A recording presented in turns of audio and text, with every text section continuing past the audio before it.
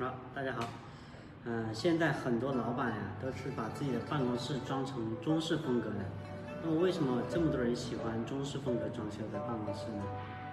呃，这个应该跟中国人对文化自越来越自信了，这个有关系的。呃，一般的话，红木办公室的话，标配沙发、办公桌、书柜，然后一套茶台。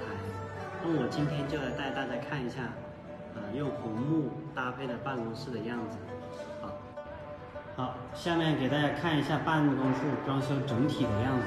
整体的样子其实就是三大件：沙发、书桌、书柜，然后茶台。其实下次可以放一个博古架。放个博古架在后面，我觉得这样搭配还是挺好看的。然后沙发是红酸枝，书桌书柜是大红酸枝。然后你们知道这个茶台是什么材质的吗？猜对了有奖哦。办公室放的沙发是巴黎黄檀的，就是红酸枝的才能稳沙发。因为这个办公室比较大，所以它能够放得下十一件套，放十一件套是完全没有问题的。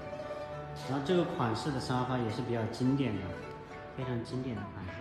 至于为什么放这一套沙发？因为这个办公室整体装的都是深色调的，然后，嗯，我也个人比较喜欢这个深颜色，深颜色看着大气。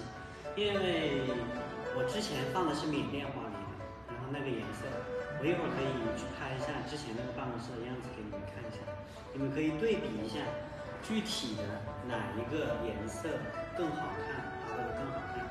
然后我现在给大家看一下这套沙发的一些细节。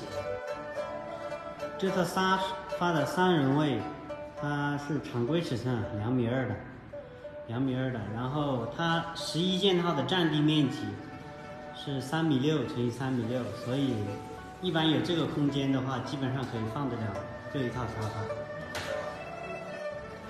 其实一个办公室的茶台是非常重要的，平时的话很少坐在沙发上面，谈事情基本上都是在茶台上面谈的。然后这个茶台的话也是挺漂亮的。对，这个是主人位。其实我当时想换一把关帽椅，然后就换了一个没带扶手的。